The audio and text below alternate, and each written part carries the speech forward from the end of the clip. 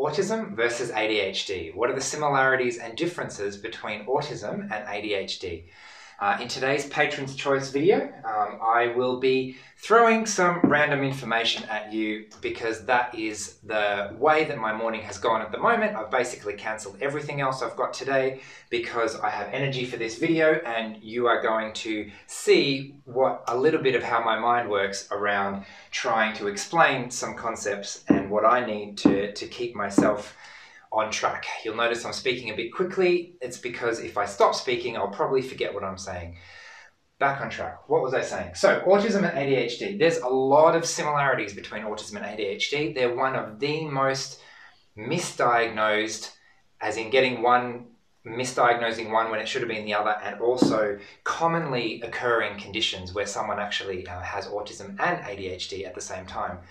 So clearly there's a lot of overlap, but there are also some very significant differences as well. So I'll be going through some of that today in as structured way as I can given the state this morning.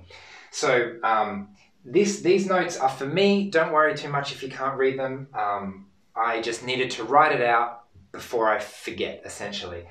So uh, my name is Paul. I am um, from Asperger's from the Inside. You may have seen the channel.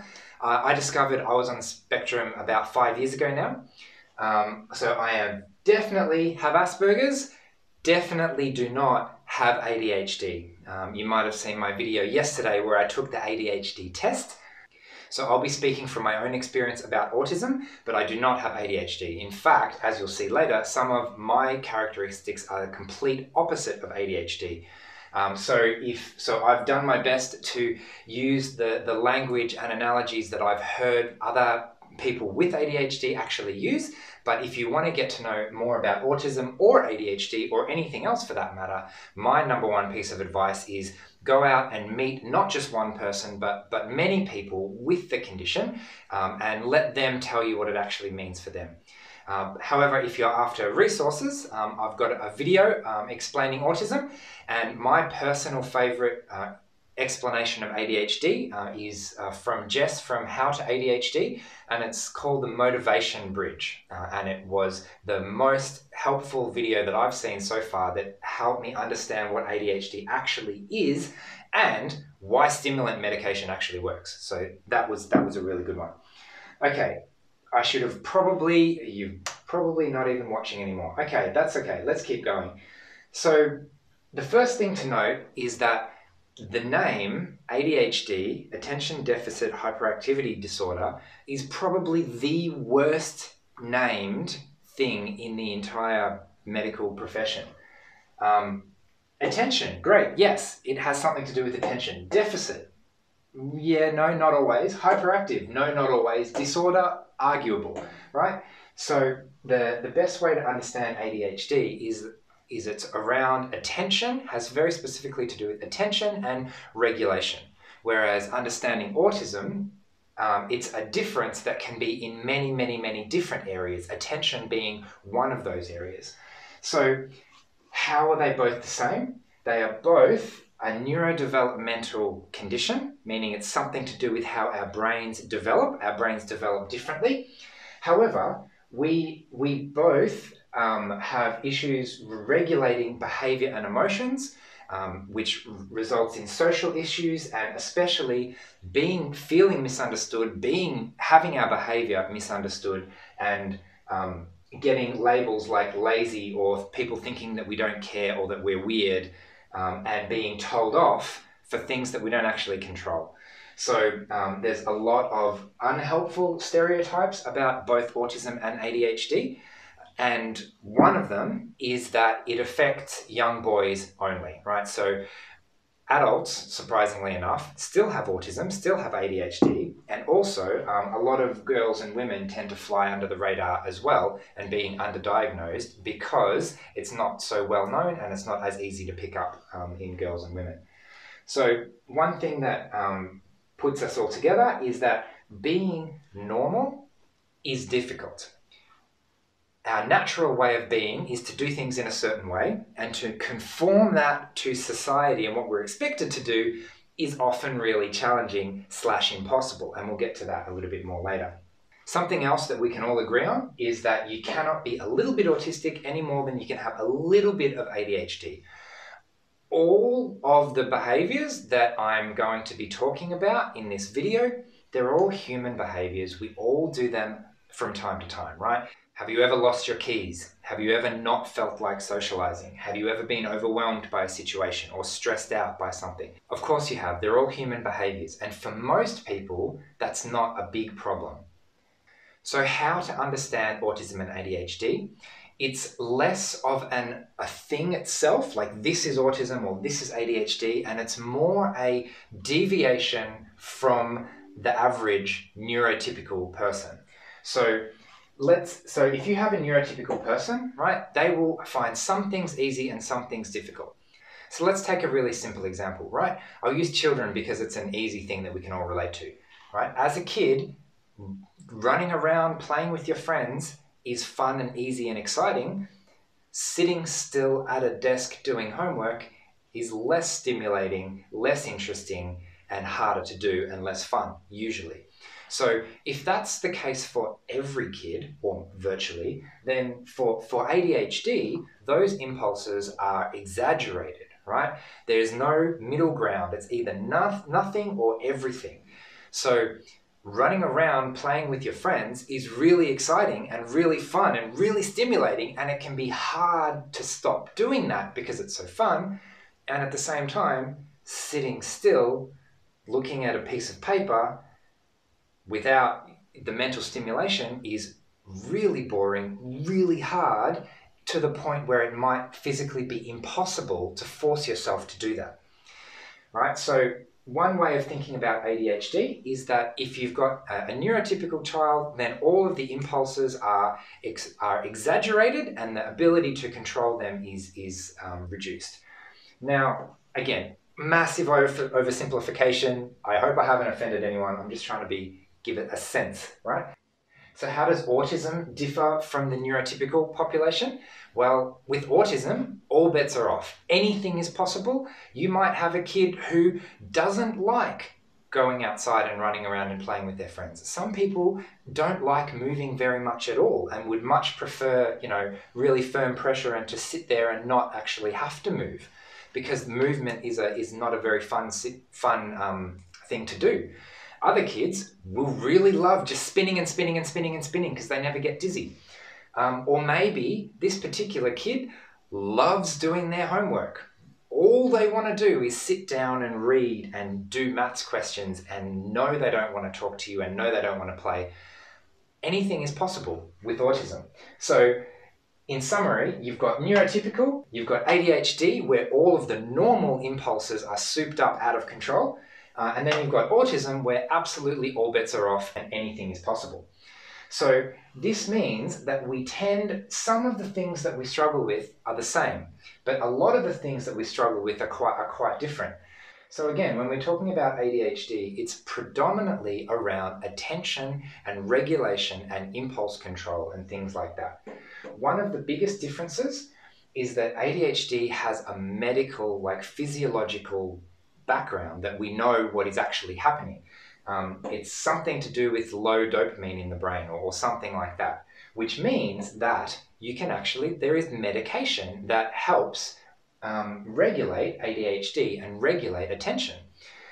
Um, another thing with ADHD, and this is something I picked up from, from watching Jess's videos from How to ADHD, is that a lot of the time the internal dialogue is I really, I know what I want to do. I know what I need to do.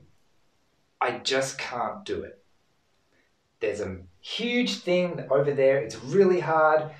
I really want it, but I can't do it because I just can't give myself the motivation. I know it's important. I just can't do it autism is can be significantly different to that. Very often we're confused and don't know what we're supposed to be doing in a social situation, for example.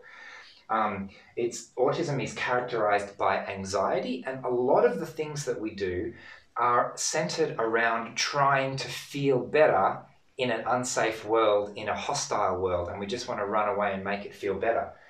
Um, so, a lot of autistic people have a huge ability to mask even young children have the ability to go to school and do everything they need to do at school, and then they'll come home and they will crash. They will have a meltdown or a shutdown or just have no energy and crash because they've used up all of their energy trying to be normal and then they've got no energy at the end of the day. In contrast, ADHD is more characterized by an inability to do those things that you know you're expected to do. Now, be very careful here. Do not think that one is better than the other. One is if, if you can't do something that someone is expecting you to do, right, then you might fail more publicly. But if you have to mask it all the time, then that is a crushing internal experience. And eventually you will no longer be able to take it anymore. And eventually that mask will fall off. And then you'll fail in a much more spectacular way. So, very similar challenges due to being wired differently and having different things that motivate us. So one of the reasons that I'm doing this video today is because I started thinking about it yesterday. So I've started writing out what I'm going to do and I've started thinking about it and I'm getting really good ideas and I'm getting on a roll. And so I went to sleep and I woke up early this morning and my brain was still on that same thing. So for me, what autism looks like is when I'm on something, when I'm in the zone for something, it's really difficult to change and do something else. And at the same time, it's really easy to keep doing the same thing that I'm doing, to maintain a long, focused attention on one tiny little task and just keep going and keep going and keep going until it's done. So, so this is another way to understand um, a potential difference between autism and ADHD, and that is around under and over regulation of our attention. So if a neurotypical brain, right, has the ability to regulate their attention somewhere in the middle, right, I have the ability to concentrate, I have the ability to just let it go.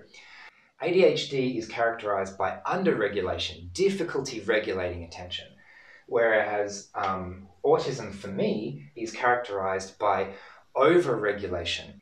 Every bit of my attention is heavily regulated by my brain. You could say that my inhibitions are huge. It's really hard for me to get in the spirit of things, to, to go with the flow, to pick up of the emotions of the room and actually, you know, go with other people because it takes me a lot longer to do that. And I've actually got a, a video on um, what I call emotional damping, um, where I, I still feel the same things, but it just takes longer for the feelings to, to kind of take over.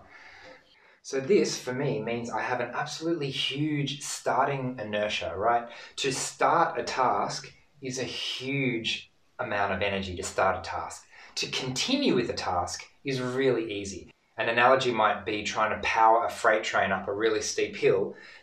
Getting there is hard, but once you're over the top and going, once you've, once you've got the momentum going, the easiest thing to do is to just keep going. Whereas ADHD, what I've noticed from my friends is that a lot of people have a very, very low instigation energy. Oh, look, I've got an idea. I'm already doing it. Oh, I've already finished it. I'm already back. I'm already thinking something else. I'm already back. And me, I'm sitting here going, whoa, whoa, whoa, I can't keep up. I need, I'm doing one thing. And if I'm going to switch to another idea, that is a huge amount of energy for me. I, I just can't switch between those two tasks. Now, interestingly, ADHD is also characterized well not characterized but a something that can happen with ADHD is, is hyperfocus in in a similar way that autism can be have hyperfocus.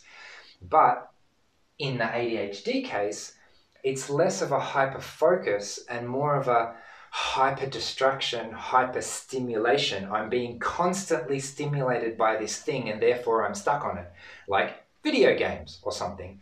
Whereas with autism because my regulation is so controlled, so over regulated, I can focus my attention on something and block out the rest of the world so that I am doing just this one thing and I just do not notice anything else. So you can see that there's a bit of a subtle difference there. Now, here's the absolute clincher that makes it so confusing as to whether it's autism or ADHD or both. So I mentioned that neurotypical can regulate their attention. ADHD has trouble regulating their attention, and my version of autism is an overregulation. However, this end, this end of the attention regulation um, curve can be autism as well. Autism does not care which side of normal you fall. It's, it's, autism is characterized by too much or too little of a huge variety of things. So that might be um, I talk too much or I talk too little, or I feel too much or I feel too little, or I'm too sensitive or I'm too undersensitive, or I'm too intelligent or I'm too not intelligent, right? All of those things are autism. Um, so to give you an example, if you're, um, you know, if a child is four years old and not talking, evidence for autism. Click, right? Language delay. If a child is 18 months old and is going to their parents going, Daddy, why are the other kids not talking to me? And you have to try and explain to an 18 month year old that your peers can't talk yet. That's why they're not talking to you, right? That's a significant social thing that makes it difficult to relate to your peers if you're not on the same level, either too far ahead or too far behind. So, autism can be overregulation. Autism can also be underregulation, the same as ADHD.